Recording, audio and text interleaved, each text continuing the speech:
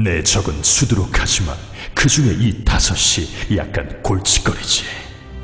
게록 와일드 스피커라고 하는 이 자는 자신이 고귀한 포식자라고 여기는 모양이지만 결국 거칠고 야만스러운 살육을 일삼는 자일 뿐이야. 그의 조급함이 나의 무기가 될 것이다. 제이스 벨레렌의 강점은 뛰어난 정신력이지만 그것으로 세상을 지배할 생각은 못하니 그의 약점이기도 하지. 그는 심오한 계획의 핵심이다. 엄청난 파괴력의 소유자이지만 자제심이나 목표의식 따위는 전혀 없는 찬들한 날라르.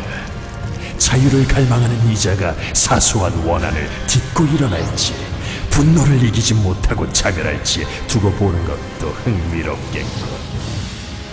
어둠의 힘으로 죽은 자를 부리는 릴리아나 베스는 공포의 대상이지. 실현할 수 없는 욕망을 주체 못하고 악마와 계약한 나만큼이나 무자비한 자로다. 마지막은 생명과 빛의 수호자랍시고 머릿수로 밀어붙이는 벌레 같은 녀석이다.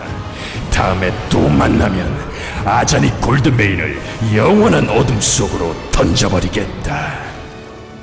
이들은 그저 장애물일 뿐이야. 원대한 계획의 일부지. 네가 아무리 싸워봐야 어쩌지 못할 상대들이다. 만에 하나 네 실력이 뛰어나서 그들을 모두 물리친다 하더라도 다음 상대는 내가 될 것이다. 신중하게 생각하거라.